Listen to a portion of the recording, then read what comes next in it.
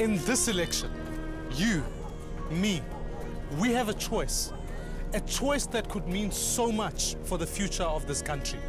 We can choose more corruption, empty promises, bad services, and more unemployment. Or you can choose an honest government with zero tolerance for corruption, better services, many more jobs, and opportunities for all. Kinako, it is time, time to make the choice to bring the change we need to move forward again.